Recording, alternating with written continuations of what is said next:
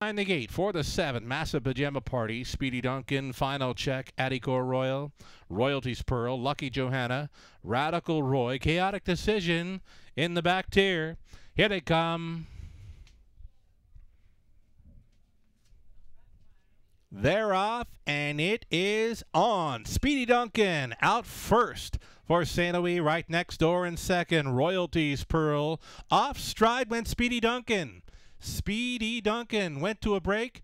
Also off stride was the five, Royalties Pearl. The favorites are on the gallop through that opening turn.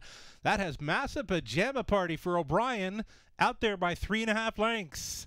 Closing up the gap in second, extreme long shot. The longest shot on the board. Chaotic decision at 40 to 1 for the two hole ride. They opened it up in 29 and 4. Final check is trotting from third, sitting fourth. Lucky Johanna. Radical Roy looks at it from fifth. Next in line six, we've got Addicor Royal back down trotting with Speedy Duncan in seventh.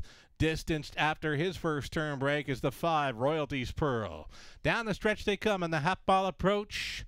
An unchallenged Massa Pajama Party front ending freewheeling here.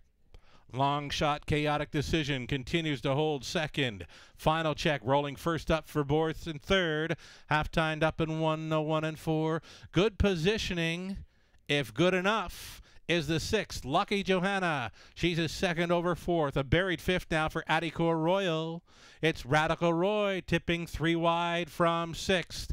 Seventh is Speedy Duncan, and well, well back to Royalties Pearl down the backside. Still all going after Massa Pajama Party, trying to spring for the upset by three quarters, 131 and four. It's Massa Pajama Party. They're fanning three across. The battle for second. Chaotic decision holds it. Final check has gone to a break. Final check off stride. They get ready to make the swing, and it's time to show them if you got a Massa Pajama Party. Here comes Chaotic Decision. Chaotic Decision bearing down. Massa Pajama Party holds on. Massa Pajama Party on top. Chaotic Decision second. Addicor Royal third. 202 and 1. Massa Pajama Party going all the way for O'Brien to take the Veterans Classic.